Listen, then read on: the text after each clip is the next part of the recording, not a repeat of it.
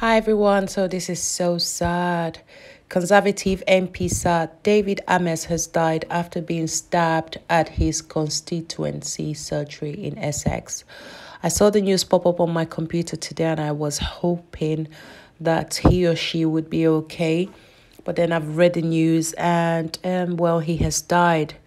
If you do not know, an MP died not too um, long ago. That MP was killed as well the MPs would normally associate with, you know, the people that they represent, that they work for. They would normally meet their constituents at a regular surgery. He was the MP for Southend West and he was meeting um, at a regular surgery that he would carry out at Belfairs Methodist Church in Essex. The police were called to Eastwood Road North shortly after about 1205 and um, paramedics tried to treat him on the scene, but he died. Now, who is the suspect? We do know that a 25 year old man was arrested on suspicion of murder after officers arrived at the scene and they recovered a knife.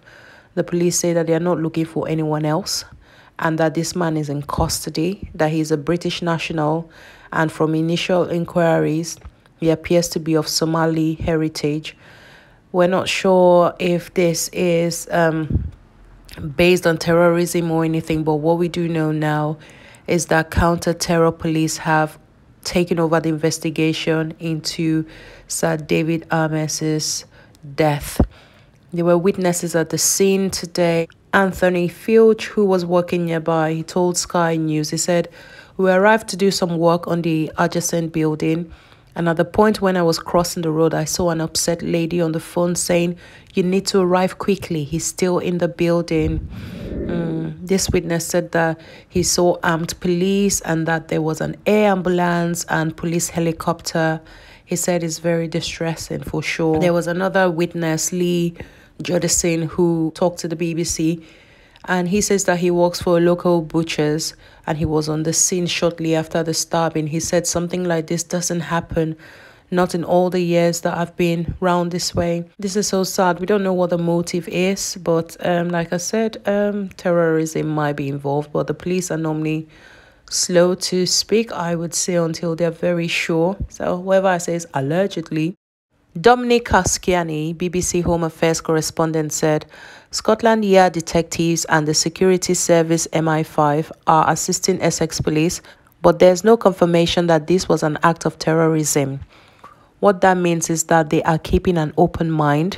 At the earlier stages of an investigation, good police work requires officers to follow the evidence rather than inadvertently narrowing down the avenues open to them to establish why an attack happened. In the hours to come, murder squad detectives will be interviewing the man who is in custody on suspicion of murder.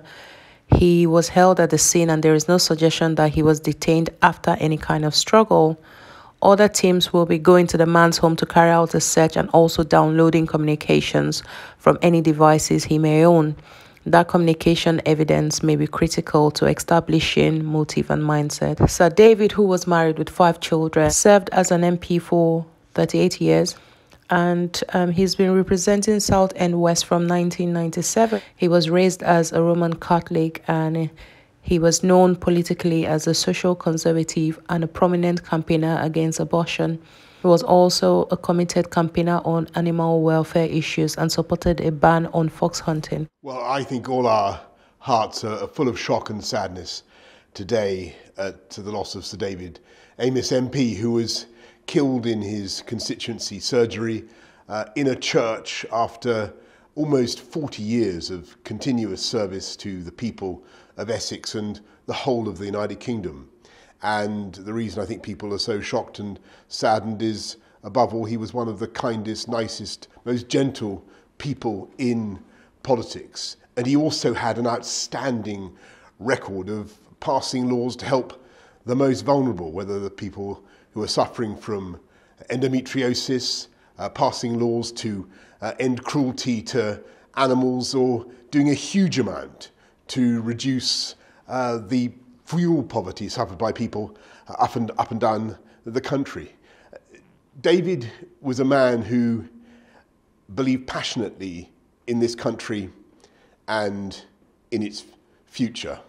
and we've, we've lost today a fine public servant and a much loved friend and colleague. And our thoughts are very much today with uh, his wife, uh, his children, and, and his family.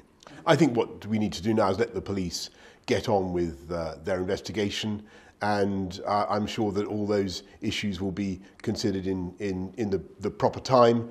But this, I think this is a moment for us to, to think of, of Sir David, uh, his wife, his family, and, and our thoughts are very much with them.